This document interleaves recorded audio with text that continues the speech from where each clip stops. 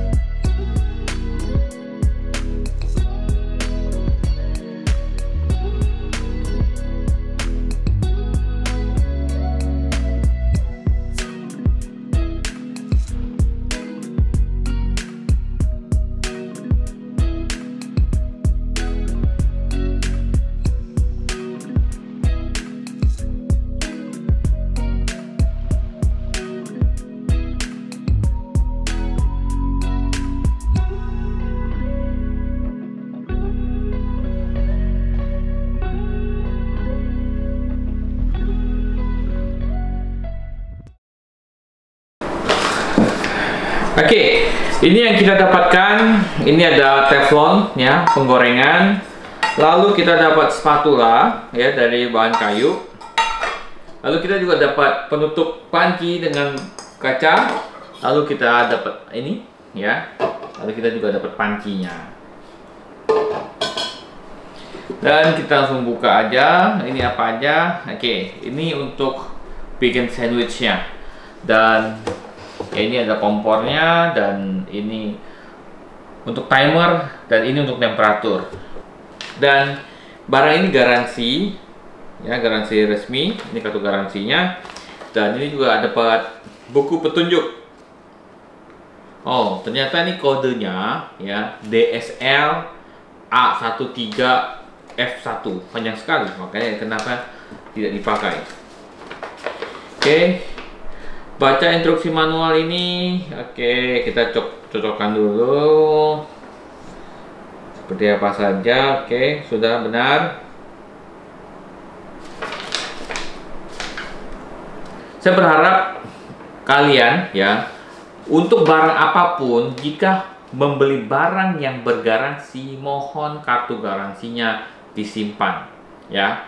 Karena banyak banget orang udah beli barang ya Lalu ketika amin-amin ketika barangnya rusak atau bermasalah, saat mau bawa servis, ininya sudah hilang.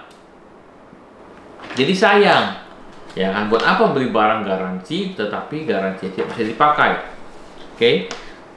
Di sini ada penjelasannya, menurut saya juga penjelasannya ya lumayan padat ya.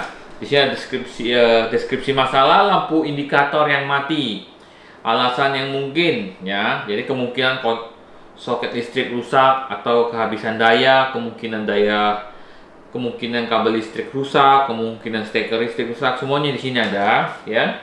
Sampai waktu penggoreng terlalu lama makanan tidak matang ada bau yang aneh oke di sini ada penjelasannya. Dan di sini juga ada nama produk sandwich maker ya. Dan apakah ini bisa untuk waffle saya rasa tidak ya, ini tidak bisa waffle. Dan ini dayanya 1500 watt. Produk ini sangat cocok buat kalian yang hidupnya nggak mau ribet ya, maunya langsung bangun, langsung tinggal bikin ini itu ya, apalagi yang tinggal di apartemen atau tempat rumahnya yang tidak terlalu besar ya. Jadi tinggal dipencet, buka, taruh roti sandwich ya, tinggal ditutup tinggal di setting ya. Setting waktunya dan setting suhunya. Lalu sembari tunggu roti matang ya atau panggang bisa juga untuk minuman. Mungkin masak air untuk kopi atau enggak goreng telur mie instan ataupun kukus ya. Jadi sangat praktis sekali. Dan ini belum sangat cocok dan warnanya itu juga warna yang menarik menurut saya. Dan sepertinya ini tidak uh, berlaku untuk breakfast doang sih sebenarnya. Tapi ini juga bisa untuk makan siang ataupun makan malam. Cuman namanya saja breakfast. Kenapa? Karena satu ini bisa buat hot pot, ya, buat shabu-shabu. Di sini untuk grill. Saya rasa bisa, karena panas ini nanti akan panas juga. Dan baru saya tadi kan saya baca, ya, saya baca uh, buku petunjuknya. Menurut saya kekurangan dari informasi yang ada di sini adalah seberapa suhunya dan seberapa waktunya yang dibutuhkan. Terutama misalnya untuk sandwich dia butuh berapa lama ya. Untuk berapa lama sandwichnya? Untuk mateng jangan sampai ketika pertamaan kali coba hangus gitu kan. Nah, karena kan kalau tidak ada formulanya kan orang nyoba nyoba nyoba nyoba dan itu akan memakan waktu. Nah lebih baik dari all light-nya bisa menjelaskan eh ini panggangnya ini di suhu berapa dan menitnya berapa?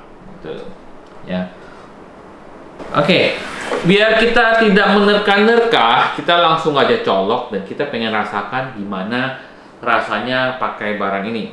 Oke? Kali ini kita akan langsung aja coba. Ya. Ya ini ingat harus pencet. Oke kita langsung coba aja kita setting timernya. Jadi ini ketika kita putar ya. Misalnya kita putar 5 menit ya. Di sini akan bunyi timernya dan lampu sandwichnya akan nyala ya. Ngeri nih takutnya terus ternyata enggak oke. Ini langsung udah panas padahal kurang dari ini. Ya wajar karena ini 1500 watt ya. Jadi kalian harus tahu wah dayanya besar sekali ya 1500 watt. Iya karena dia membutuhkan kecepatan penuh untuk mengpanaskannya ini. Oke okay, oke okay, saya ngerti sekarang. Jadi ketika saya putarkan timer ya yang panas kan di sini ya. Ini juga panas dia atas bawah panas. Kita tutup. Bagian sini ini nggak panas ya. Kita coba putar. Nah ya.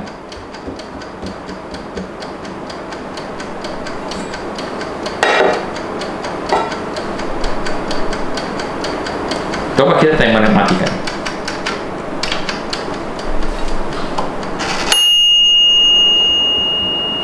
Oke, okay. ini saya tadi coba timernya saya matikan ya mau pengen tahu ininya masih panas nggak ternyata panas ya jadi dia tidak mereka bekerja berbeda jadi ketika timernya saya nyalakan otomatis sandwichnya yang panas oke okay? ketika temperaturnya saya nyalakan ininya yang nyala oke okay. ya dan kita akan coba goreng telur ya gimana seberapa cepatnya dan kalau kamu perhatikan di bagian ini ada api besar satu dan dua, tapi saya nggak tahu ya uh, penjelasannya apa. Ya harusnya sih yang dua api itu akan lebih besar atau lebih cepat panas. Iya, ya. Oke, kita akan coba goreng telur, ngasain gimana seberapa enaknya gitu goreng telur dengan ini. Oke. Oke, saya udah siapin uh, fry pan. Ya, lebih tepatnya saya cuci lagi pakai ini. Dan kita langsung coba. Saya udah siapin telur juga. Ya, sayang saya nggak punya roti, jadi kita langsung putarkan saja. Oke, kita sambil tunggu. Kita tuangkan minyak. Cukup nggak? Cukup lah ya.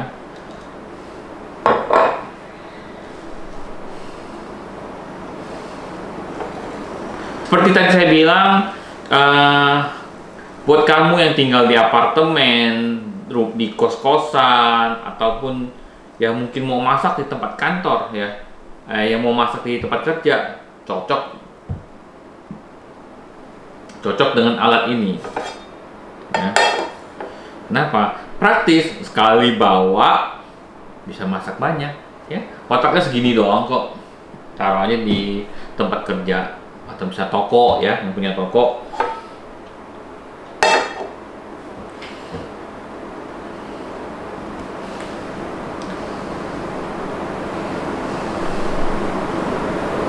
Oke. Okay.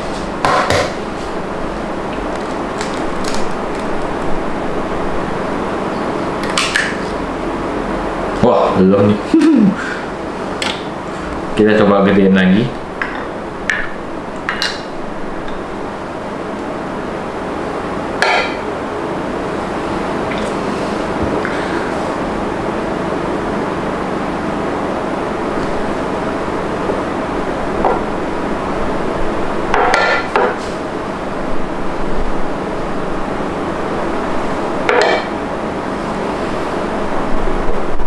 Oke, mungkin saya kecepatan taruh, panasnya juga belum, jadi ya begitulah.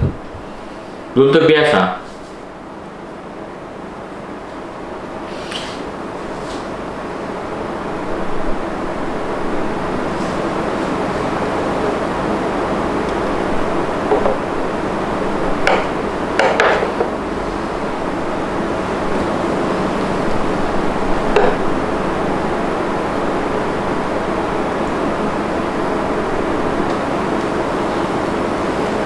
Jadi seperti tadi saya juga bilang, eh, uh, ini selain gunakan untuk ini panas juga ya.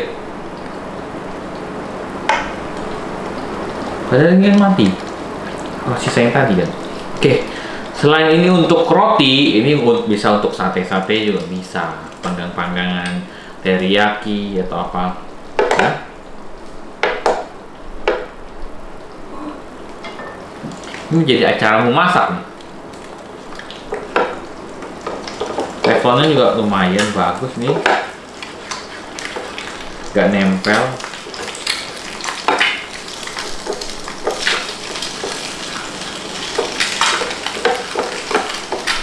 Ya, nggak nggak nempel ya tuh.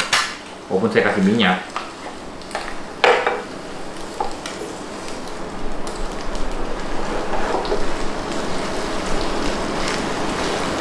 Ya, kalian bisa lihat tadi saya masak ini butuh waktu berapa lama, berapa matang karena saya tidak cut.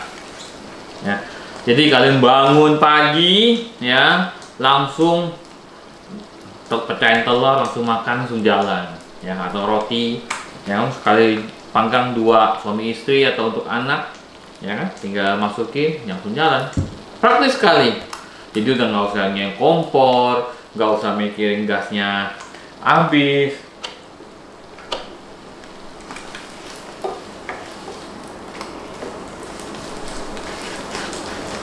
Praktis. Praktis banget. Saya suka.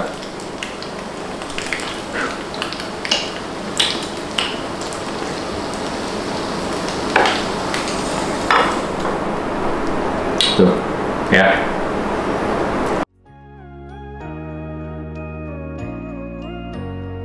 Sekian dulu video dari saya. Tuliskan komen di bawah ini apabila ada pertanyaan atau informasi dari kami yang kurang.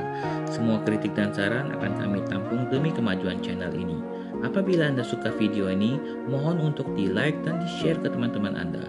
Sampai jumpa di video berikutnya. Makasih. Bye.